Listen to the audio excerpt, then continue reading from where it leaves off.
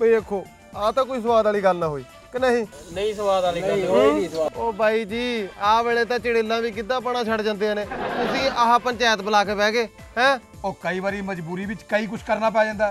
ਤੂੰ ਤਾਂ ਇੰਨੇ ਤੋਂ ਹੀ ਤੰਗ ਆ ਗਿਆ। ਆਹੋ ਕਰੋ ਯਾਰ ਫਿਰ। ਉਹ ਅਸੀਂ ਤਾਂ ਉੱਥੇ ਪਹਿਰਾ ਦੇ ਰਹੇ ਸੀ। ਓਏ ਉਹ ਬਾਅਦ ਚੋਂ ਇੱਕ ਪਰਛਾਵਾਂ ਦੇਖਿਆ ਉਹ ਗਾਇਬ ਹੋ ਗਿਆ। ਤੇ ਉਦੋਂ ਬਾਅਦ ਅਸੀਂ ਆ ਵੇਖਿਆ 2.5 ਕਿਲੋ ਦਾ ਭਤੀਜਾ ਭੱਜੂ। ਨਾ ਭੱਜੂ ਇੱਥੇ ਕੀ ਦਾਣੇ ਲੈਣਾ ਅਸੀਂ ਪੁੱਛ ਕਿਉਂ? ਮੈਂ ਤਾਂ ਰੋਟੀ ਖਾ ਕੇ ਸੈਰ ਕਰਨ ਗਿਆ ਸੀ। ਓਏ ਆਹੋ ਭਾਈ ਇਹ ਜਿਹੜੇ ਸ਼ਹਿਰੀ ਲੋਕ ਹੁੰਦੇ ਆ ਇਹ ਰਾਤ ਨੂੰ ਰੋਟੀਆਂ ਰਾਟੀਆਂ ਖਾ ਕੇ ਫੇਰ ਹੀ ਸੈਲਾਂ ਤੇ ਜਾਂਦੇ ਆ। ਓਏ ਸੈਰ ਨੂੰ ਆਪਣਾ ਪਿੰਡ ਕਿਹੜਾ ਚੰਡੀਗੜ੍ਹ ਆ? ਲੋ ਆ ਤੇਰਾ ਭਤੀਜਾ ਸਾਡੀ ਗਲੀ 'ਚ ਕਰਨ ਕੀ ਗਿਆ ਸੀ?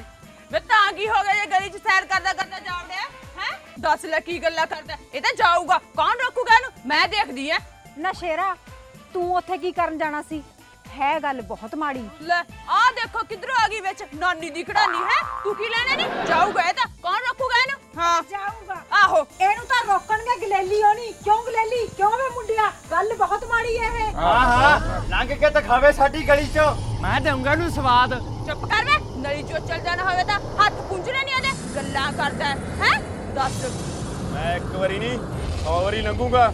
ਜਿਹਦੇ ਚ ਹਿੰਮਤ ਹੋਈ ਰੋਕ ਲਿਓ ਜੇ। ਓਹੋ। ਉਹ ਭਾਈ ਮਸਲਾ ਇਹ ਨਹੀਂ ਵੀ ਭੱਜੀ ਗਲੇਲੀ ਦੀ ਗਲੀ 'ਚ ਕੀ ਕਰਨ ਗਿਆ ਸੀ। ਓਏ ਲੋਕੋ ਮਸਲਾ ਤਾਂ ਇਹ ਹੈ ਵੀ ਉਹ ਦੋ ਬੰਦੇ ਗਏ ਕਿੱਥੇ? ਓਏ ਬਾਬਾ ਦੱਸਦੇ ਆ ਵੀ ਇੱਕ ਬੰਦਾ ਗਲੇਲੀ ਕੇ ਘਰੇ ਵੜਿਆ ਪੁੱਛ ਕਿਉਂ? ਨਾ ਤੂੰ ਹੋ ਗਾਹਾਂ ਵੜਦੇ ਦੇਖੇ ਨੇ?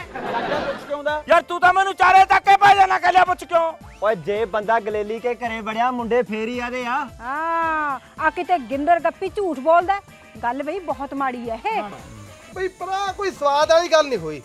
ਗੱਲ ਤਾਂ ਸੋਚਣ ਵਾਲੀ ਇਹ ਹੈ ਬਈ ਜਿਹੜੇ ਉਹ ਦੋ ਬੰਦੇ ਐ ਉਹ ਗਏ ਕਿੱਥੇ?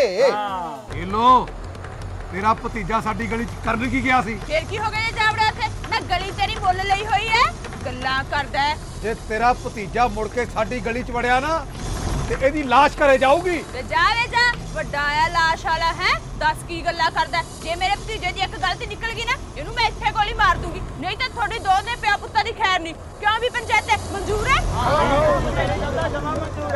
ਓਏ ਕਮਲਿਆ ਟੋਲਿਆ ਕਿਧਰੇ ਬੁੜੀ ਦਾ ਮਰਨਾ ਕਿਧਰੇ ਹਲ ਉਕੜੂ।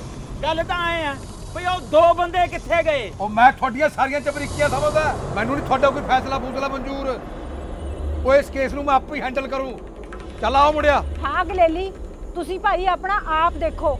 ਗੱਲ ਇਹ ਬਹੁਤ ਮਾੜੀ ਹੈ ਆ ਕੋਈ ਸਵਾਦ ਵਾਲੀ ਗੱਲ ਜੀ ਨਹੀਂ ਹੋਈ ਯਾਰ। ਦੋ ਬੰਦੇ ਪਹਿਲਾਂ ਨਹੀਂ ਮਿਲੇ ਦੋ ਆ ਬਾਗੇ ਯਾਰ ਕੋਈ ਸਵਾਦ ਆਇਆ ਨਹੀਂ ਹੈਗਾ। ਨਹੀਂ ਉਹਦਾ ਸਵਾਦ ਨਾ ਆਵੇ ਤੇ ਠੇਕੂ ਚ ਜਾਓ ਤੁਸੀਂ। ਚੱਲ ਵੇ ਚੱਲ ਗਏ ਆਪਾਂ।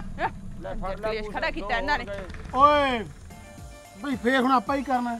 ਆਪਾਂ ਵੀ ਆਪੋ ਆਪਣੇ ਘਰ ਨੂੰ ਚੱਲਦੇ ਆਂ। ਚਲੋ ਵੀ ਚੱਲੀਏ। ਮੈਂ ਤਾਂ ਪਹਿਲਾਂ ਹੀ ਆਖਿਆ ਸੀ ਵੀ ਇਹ ਕੰਮ ਮੁੰਡਿਆਂ ਤੋਂ ਨਹੀਂ ਹੋਣਾ ਆਪਾਂ ਨੂੰ ਆਪ ਪਹਿਰਾ ਦੇਣਾ ਚਾਹੀਦਾ। ਉਹ ਬੱਲੇ ਵੀ ਬੱਲੇ ਸ਼ੇਰਾ ਬੱਲੇ ਆਹ ਹਾ ਹਾ ਹਾ ਆ ਕਰਿਆ ਕੰਮ ਦੀ ਗੱਲ। ਆਪਾਂ ਨੂੰ ਵੀ ਐਂ ਕਰਨਾ ਚਾਹੀਦਾ। ਆਪਾਂ ਨੂੰ ਪਹਿਰੇ ਵਾਲਿਆਂ ਦੇ ਉੱਤੇ ਪਹਿਰਾ ਦੇਣਾ ਚਾਹੀਦਾ। ਹਾਂ ਮੈਂ ਤਾਂ ਪਹਿਲਾਂ ਹੀ ਆਖੀ ਜਾਂਦਾ ਸੀ ਪਹਿਰਿਆਂ ਉੱਤੇ ਪਹਿਰਾ ਲਾਉਣਾ ਚਾਹੀਦਾ ਪੁੱਛ ਕਿਉਂ? ਬਈ ਆਹ ਗੱਲ ਤੁਹਾਡੀ ਠੀਕ ਹੈ। ਤੁਸੀਂ ਪਹਿਰੇ ਵਾਲੇ ਤੋਂ ਪਹਿਰਾ ਦਿਓ ਮੈਂ ਤੁਹਾਡੇ ਤੇ ਪਹਿਰਾ ਦਊਂਗਾ। ਲੈ ਬਈ ਆਹ ਤਾਂ ਹੋ ਗਈ ਸਵਾਦ ਵਾਲੀ ਗੱਲ। ਪਰ ਪੁਲਿਸ ਜੀ ਇਹ ਤਾਂ ਕੋਈ ਸਵਾਦ ਵਾਲੀ ਗੱਲ ਨਾ ਹੋਈ। ਪੁੱਛ ਕਿਉਂ? ਉਹ ਦੋ ਬੰਦੇ ਗਏ ਕਿੱਥੇ?